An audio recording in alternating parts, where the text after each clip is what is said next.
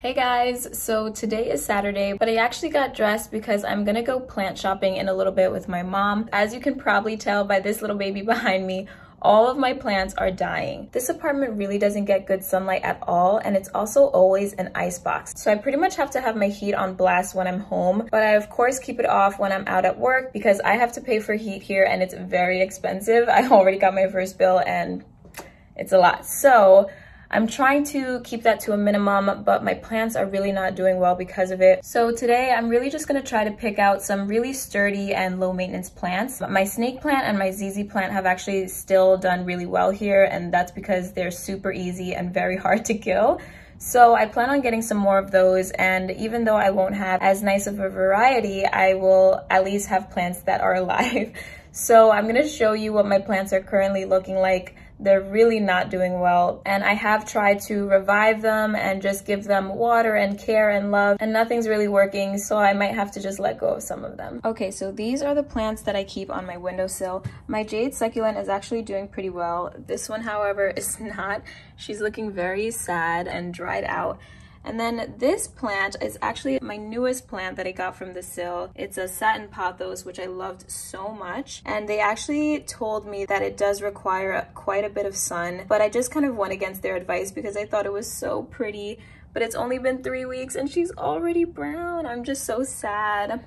This plant, she used to be standing up like this. These two are not so bad in the back. This one's okay. It's kind of wrinkling up. And this spot is actually from a candle that I burned near it. So that's just like that now. And then I have this aloe. And then here, this one is the one I'm like most embarrassed about. I actually have already clipped off many brown leaves, but she keeps browning on me. And I don't want to let go of her or any of my plant babies. So that is my plant update. I am getting ready to head out, so I will take you with me and show you what I end up getting from the Sill.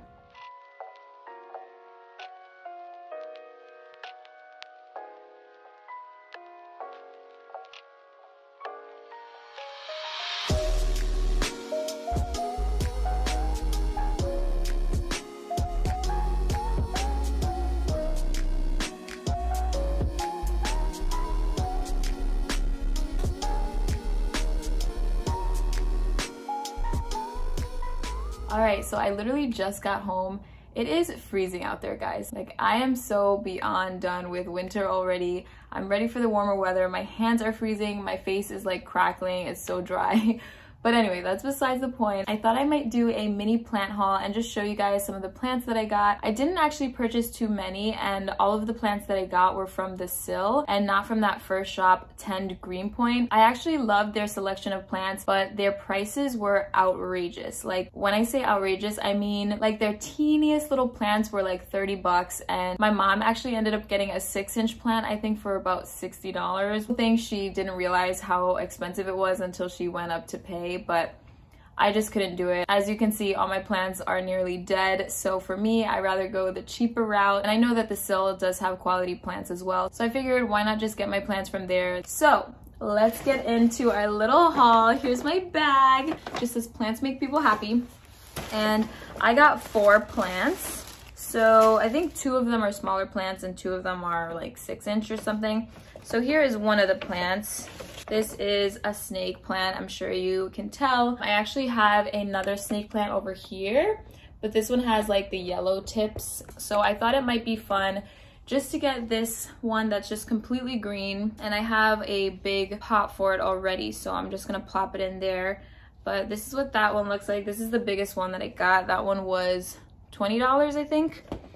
Um, and then here's the second largest, which is also a snake plant. But this one is so cool. I thought the coloring was very unique and I've actually never seen snake plants like this and no one that I know has a snake plant like this. So I thought it was cool and I just kind of wanted to get it just because it was very different and I, I liked how it looked. I also made it a point to only get very low maintenance plants, plants that don't require a lot of sunlight because as you know, my apartment doesn't give me anything. So here's another snake plant that I am adding to my collection. And then I got another little ZZ plant. This one's a mini one. I think this is a four inch or three inch pot, but I am gonna replant her in one of my vases. I have so many empty vases right now because my plants died. I can't say it enough. I'm so upset about it. I'm so sad. But that's okay. I'm gonna replace them with these strong babies. So hopefully these can survive my frigid and uh, lightless apartment. But anyway, this is a ZZ plant and another low maintenance plant and she's smaller than the one that I currently have on my coffee table. So this one, even though they don't really need humidity, I think I'm gonna add her to my bathroom along with the last plant that I got, which is this baby. And this is a philodendron. So I just love the heart-shaped leaves that it has. It kind of resembles a pothos plant, pothos, pothos. This one I heard was a little hardier and preferred low light or could survive in low light. So I figured why not try this one. I do have a hanging planter in my bathroom as well. So I'm gonna give it a shot. I will probably bring her to the window every now and then just to give her some light. But that's her. She's cute. She's little. I'm spilling soil everywhere. um, but I think that's all of the plants that I got. But I also wanted to mention that one thing that I really like about the Sill is that they give you these plant cards and they just basically tell you how often you need to water your plants and basically how to take care of them. So for example, this one is for the ZZ plant. It says water every three to four weeks. Basically just tells you thrives in medium to low indirect light. Oops. Um, says not suited for intense direct sun. So hopefully she still likes my apartment. My other one is doing fine. So I think that'll be okay. But basically it tells you like if your plants have wrinkled leaves, then that means it's thirsty. If it's yellowing, it means it's overwatered. So I like these care cards that they give you. And yeah, I think they just take uh, good care of their plants while they're in the shop.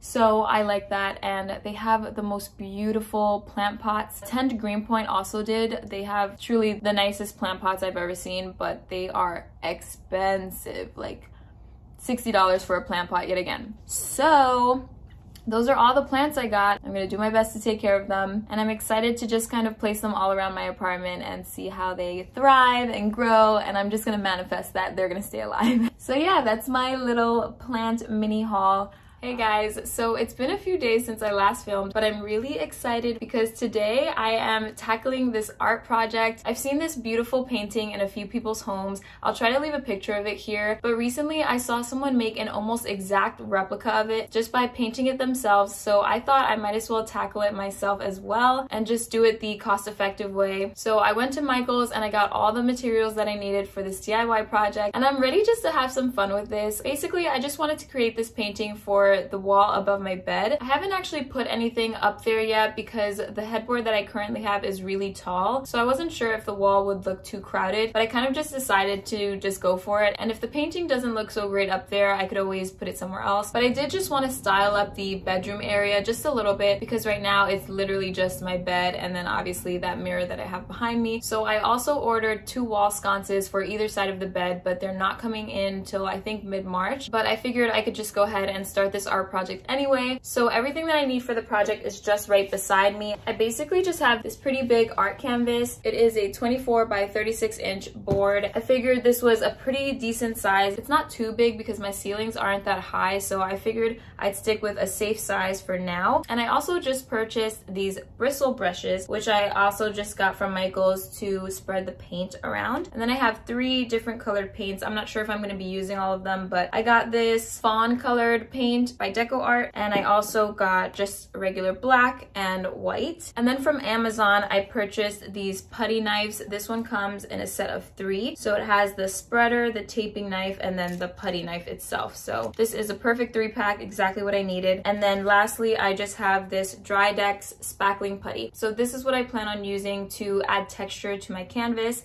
and just make it look really cool. I'm really excited. Now, I don't know if I'm gonna be able to finish it all today because I do know that this spackle needs some time to dry. I'm not sure how long it takes, but I hear that it applies pink and then turns white once it's all ready to go and be painted. So that's how you'll know when it's done. So I'm gonna go ahead and start by applying this and just layering on just kind of any which way. And then I will let it dry and come back to paint it whenever it's ready. Also, I forgot to mention that I saw someone DIY this on Instagram and her name is Olivia and I will definitely be sure to leave her handle down below just in case you want to follow her step-by-step -step instructions and see how she created her artwork. Okay, I'm ready to go. Let's do it. I'm just taking a pretty hefty amount and I'm just gonna literally plop it on there and just just start spreading it um, with the larger size. And there's no real rhyme or reason to this, I think. I'm just gonna go ahead and see how it turns out.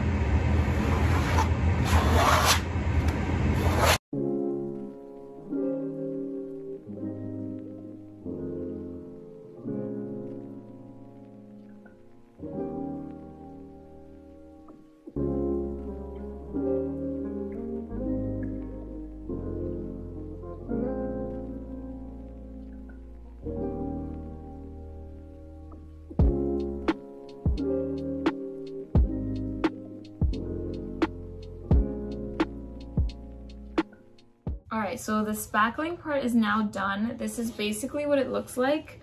Obviously, it doesn't look like anything yet because I just wanted to add the texture to it. So everything is going to be painted over. Actually, once this dries white, it might not need to be painted over, but I will have some black incorporated into it. So I'm just gonna let this dry. But in the meantime, I'm super excited because I just got a package in. So I'm gonna open it with you on camera. And I think there's actually a bit of building involved with this one. So I'm gonna show you what I just ordered. I got it from a craftsman on Etsy. So I really cannot wait to open it and just add it to my little decor. So let's go ahead and do that while this dries. And yeah, I'll come back to this project either later today or tomorrow. Okay, so I'm on the floor yet again. I just moved like two feet, but I do have the box right here. This is the big box. Well, it's not too big, but it is pretty heavy. So I'm just gonna go ahead and open it up. I decided to do it over here because the item is gonna go here. I don't know if you have any guesses for what it could be, but it's something that will sit right here where I'm sitting. So that kind of gives you a hint, but let's go ahead and open this bad boy up. Okay, I don't know if you can see it yet, but oh, I can. I'm obsessed with the color so far. Okay, so as you can see, it is wood. It's a bench, guys. It's a bench. It's like a really narrow bench that was personalized just for me, like I said, by an Etsy craftsman. He makes these benches by hand, and what's really great about it is that he customizes the dimensions to whatever you need. So I specifically picked these dimensions and he made it work for me and I'm really, really hoping that it fits nicely for at the end of my bed. I really want to add more of a rustic feel to my apartment this time. So I want to incorporate more wooden tones and things of that nature. So I really hope that this accomplishes that without taking up too much surface space. I made sure to make it really narrow and skinny, so let's see how it looks. These are all the pieces. I think I basically just need to attach the legs, so that's pretty nice. So I asked for a really distressed and raw looking wood, and this one does have a lot of cracks in it. Let's see if I can show you. So that's what it looks like, but I really like that. I feel like it just looks more natural when it's like unfinished like that. I'm just gonna go ahead and put this together now and stop blabbing.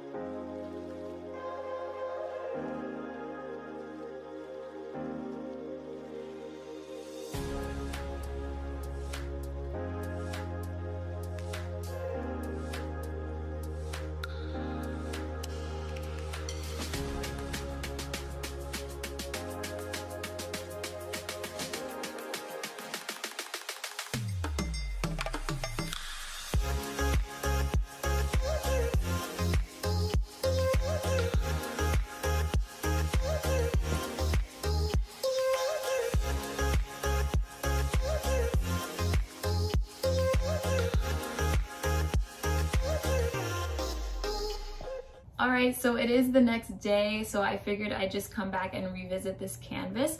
As you can see, it's all dry because it is finally turned white. It's actually an off-white color, like a creamy tone. And I originally bought the white paint, but I kind of like this color, so I might just leave that part the way it is and then just use the black for the bottom. So I'm gonna first start by sanding down some of the parts that have just a little bit too much texture to them. It's a bit uneven, so I just wanna kind of even it out a bit, and then I'll be able to go forward and paint it. Okay, um, I think I'm gonna go in, I guess with a bigger brush to start. I'm basically just going to start painting the bottom, just like the inspo picture.